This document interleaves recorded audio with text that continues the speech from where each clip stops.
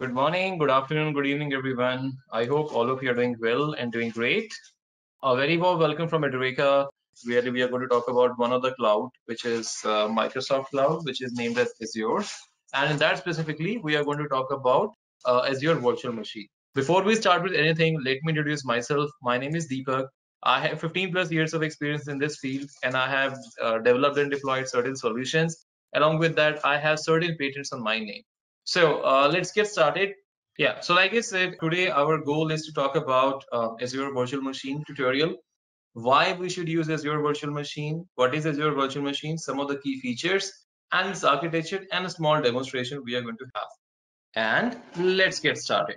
So now we're going to talk about why Azure VM. Before that, uh, let me explain you about VM. VM basically stands for virtual machine. So what is a virtual machine?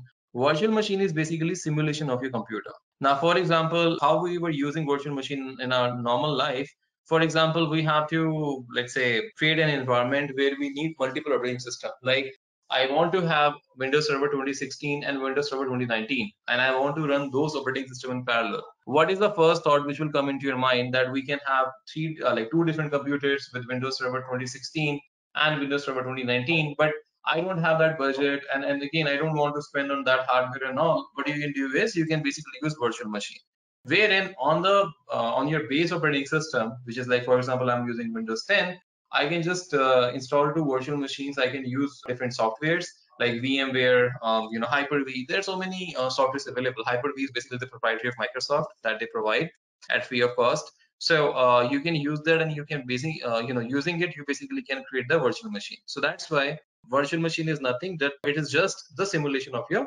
computer. Now in this case if you basically talk about uh, in the case of azure what exactly is different?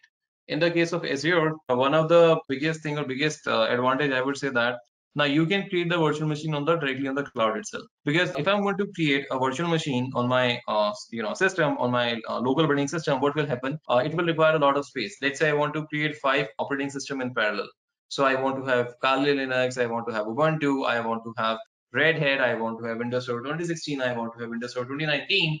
Again, you can create so many, you know, virtual machines, but you have to make sure that you have enough space on your, uh, you know, on your site, like on your uh, system if you don't have enough space then you will not be able to create those many operating system which is going to create again a lot of issue. So the azure virtual machine gives you an advantage that you can use pay as you go feature. So as per your requirement you can build and you can basically uh, create the virtual machine. And once the work is done you can basically you know delete them off. So it basically have a pay per unit. So it's like a unit of electricity whatever you're going to consume you're going to be charged for it. It's not like that you're not going to be charged unethically. It's going to be very transparent billing whatever you're going to consume you're going to be charged for it. So now why azure vm azure vm gives you a, lot of advantages. Like one of the biggest advantages that the cost saving it's not uh, like that you have to purchase the hardware so many computers so many desktops so many servers. You can just create the virtual machine on the cloud and delete it once the work is done. So there is no dedicated cost required no maintenance and other things needs to be done Next one basically is your boosted, uh, you know, scalability. So in this case, if you want to increase the resources of your virtual machine, you want to increase the RAM, hard drive, you can basically scale up or scale down the resources as per your requirement. Plus, you can have alerting feature as well. It supports alerting. For example, if my CPU utilization is going to go beyond 70%, 80%, likewise, I can define the customizations, conditions, and based on it, it's going to, you know, alert me for that.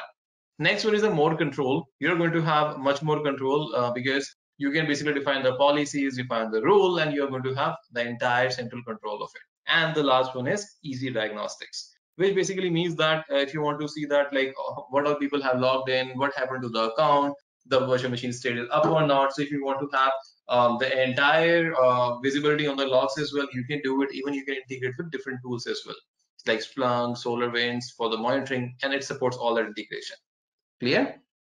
Now, what is Azure VM? What is Azure VM? Azure VM basically uh, means Azure Virtual Machine. This is one of the several type of on-demand scalable computing resources that Azure offers. So typically, if I had to say, you can choose a VM when you need, and you are going to have, uh, you know, central control over the cloud computing environment, then the other choices offer, and then you can delete it once your work is done. Now, if I talk about some of the key features of Azure Virtual Machine, so one of the biggest feature about is that you know isolation. So it's like a multi-tenant environment, but your uh, virtual machine, your environment, your access is going to be isolated with other people. Plus, you can have internet uh, uh, communication. Once I'm going to create a virtual machine, it's going to automatically create a public IP address. So you are going to have, uh, you know, private to public IP address mapping, and you can use it VM directly over the internet. I'm going to show you with a small practical as well. So third is VNC virtual network connectivity, where if I want to basically, um, you know, create a different virtual networks, you know, uh, virtual network interface cards and all, it basically supports that as well. Next is on-premise connectivity, which basically means that uh, if I want to uh, have a connectivity of my virtual machine from the cloud environment on my local side, it basically supports that as well. And uh, next one is Azure Resource Communications. If you want to have connectivity between different resource groups, different subscription, it, it's going to have that as well. What that is, I'm going to show you practically in a bit.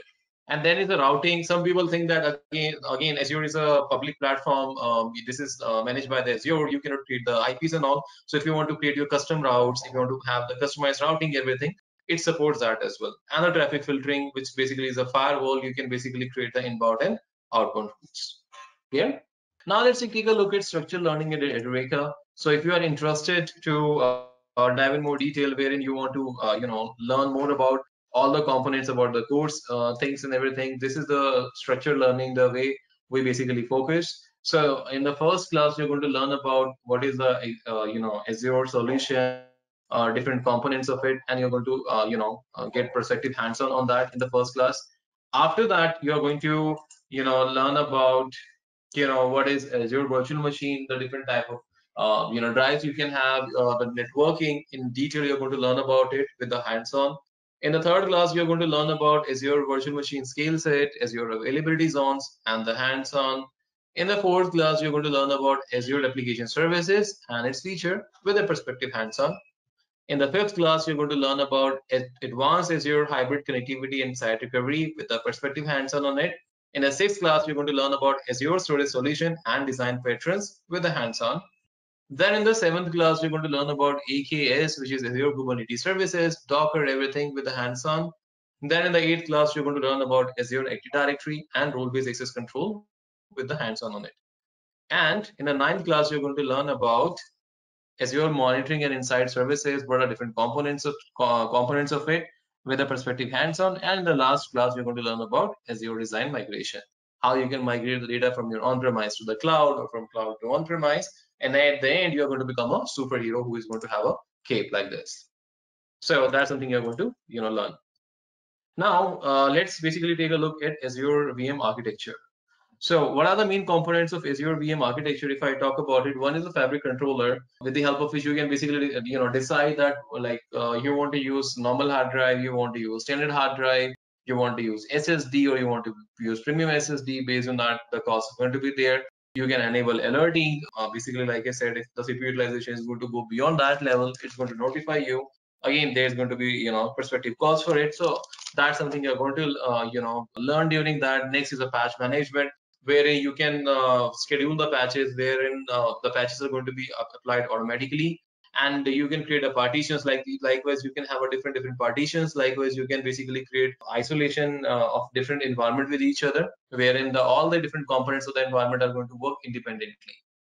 Next is azure compute stamps which basically means that you can decide different type of storage type. In azure you have four type of storage type. Basically blob file queue table. You can just choose which storage type you want to use and the other vm components basically like for monitoring, for uh, alerting, and all this kind of stuff. This is the normal architecture of any Azure VM, uh, which basically you know looks like. So when you're going to create a virtual machine, in order to create a virtual machine, you are going to create a resource group. Resource group basically is going to be a placeholder uh, wherein your all the related components are going to be stored, and I'm going to show you practically as well. So in the resource group, I can have, let's say, my network configuration, my virtual machine. So any of the virtual machine I'm going to uh, create in that resource group, I can use that same network configuration. So in the uh, you know resource group, you're going to basically create your virtual machine wherein you're going to have your virtual network. You can define your own subnet. If you don't want to define, it's going to define automatically. I'm going to show you practically as well. So uh, once that virtual machine is going to be you know created, it will require the CPU, the hard drive. So you can basically decide that which uh, specific hard drive you want to use. Uh, you want to use SSD, you want to use normal hard drive. Depending on that, you have to basically pay the cost. and your uh, logs are going to be stored in log storage account. You can configure the uh, basically storage services wherein the logs are going to be stored.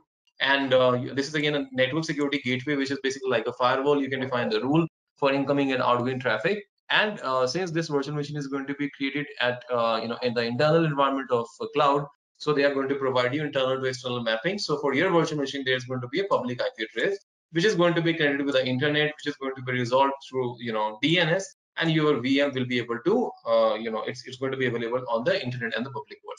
I'm going to show you the small practical demonstration as well. Okay, guys, let's just jump on to the small demonstration here. So this is my uh, Azure account that I have. So what I'm going to do is I'm going to create a virtual machine here. Now, in order to create a virtual machine, like I said, virtual machine is going to be created into my resource group. So let's say right now I have nothing on my side, so I can create a resource group here. I can give it a name as Deepak.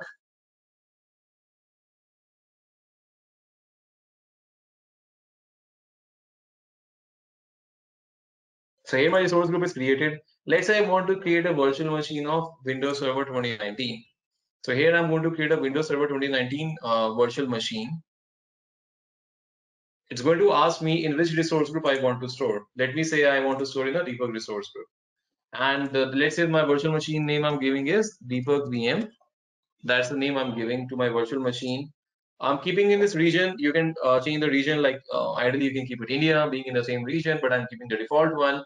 Here, I'm going to provide the username and password, which is going to be required to access my uh, you know virtual machine. So let's say my username I'm keeping is my name only Deepak, and password I'm using a standard one that I use.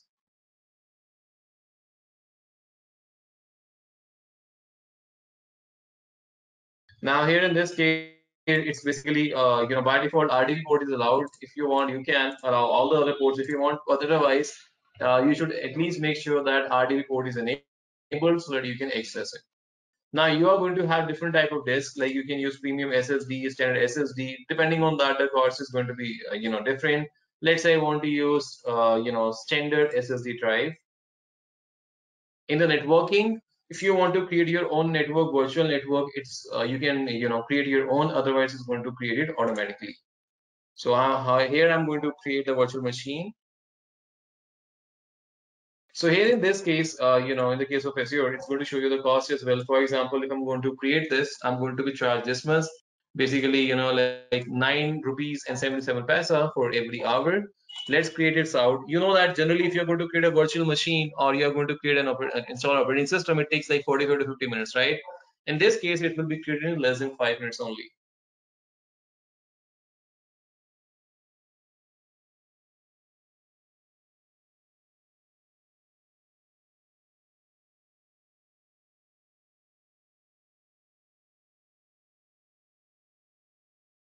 So it's almost done. Now you can see here, all the like IP address, public IP address, virtual network, each and everything is getting created automatically. Here we go. Now in this case, basically the virtual machine is created. If I'm going to go to my virtual machine, it's going to be there into my account. Now this is a virtual machine.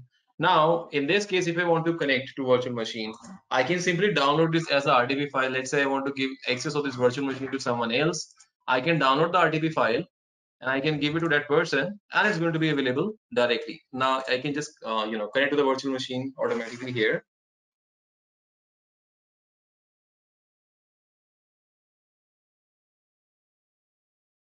So let's give it the username and password that I, uh, you know, use to create it. So username, if you remember, I kept my name and the password that I used.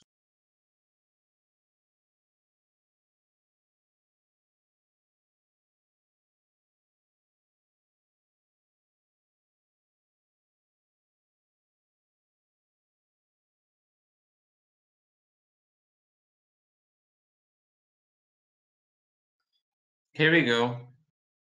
Now, basically, that's my uh, you know virtual machine which is being created. So now you know like even though I'm on my local machine which has Windows 10, uh, this is a virtual machine. It's going to have basically Windows Server 2019 that I have created. It's going to have the same name. Now uh, I have not de uh, defined the network configuration. This is the public IP. So uh, you know I can directly connect on the public uh, network automatically. Now, if you if I show you the version of it,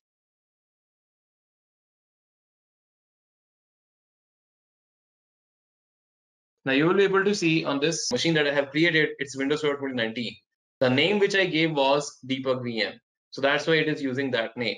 I can have like likewise multiple virtual machine in my environment. So it's basically have the same amount of hard drive memory that I have used. So, and again, it's going to be charged you like uh, nine rupees something paisa that we have seen every hour. You are going to be charged for this. So let's say I want to, uh, you know, like delete this resource group out. So if I go to my resource group that I have created Deepak, in this you will be able to see this virtual machine, you know, all the network configuration.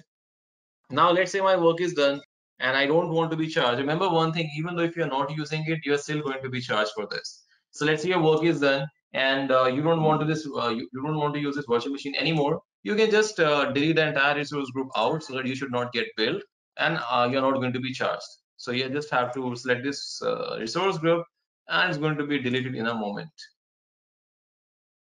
as you can see it's in progress so like i said it's basically uh, you know it's a pay as you go service so whatever you are going to basically you know consume you are going to be charged for it apart from that it's not going to charge you anything so like a unit of electricity, whatever the units basically that you consume, you're going to be charged for it.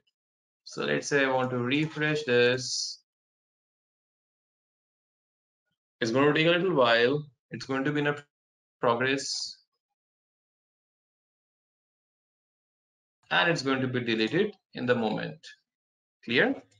So I hope that you have really enjoyed it and you have learned a lot and it was very much beneficial for you. We are going to meet in future Thank you and have a great day ahead. Bye bye.